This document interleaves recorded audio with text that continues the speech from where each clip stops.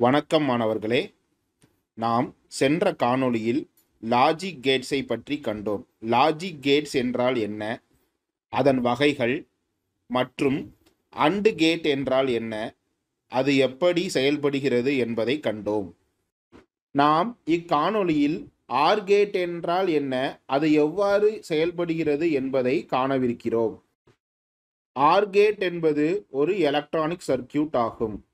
இந்த R gate ஆனது எப்பொழுது அதற்கு கொடுக்கப்பட்டுள்ள இன்புட்களில் ஏதேனும் ஒரு இன்புட் ஹையாக வருகிறதோ அப்பொழுது மட்டும் அவுட்புட் ஹை என்று கொடுக்கும்.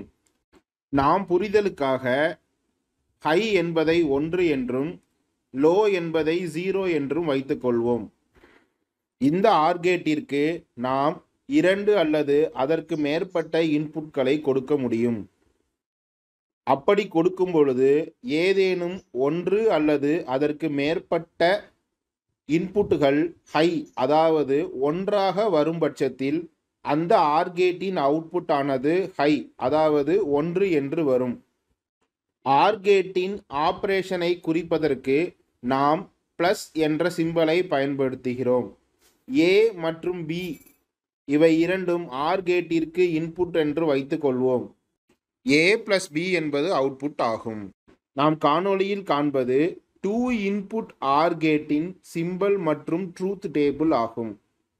இந்த ஆர் கேட்டிற்கு ஏ மற்றும் பி என்ற இரண்டு இன்புட்கள் உள்ளன.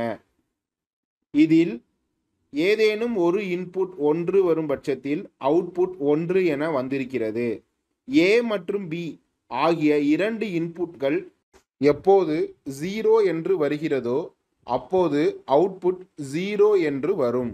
அடுத்த காணொளியில் நாம் நாட் கேட் மற்றும் அதன் பயன்பாட்டை குறித்து காண்போம். நன்றி.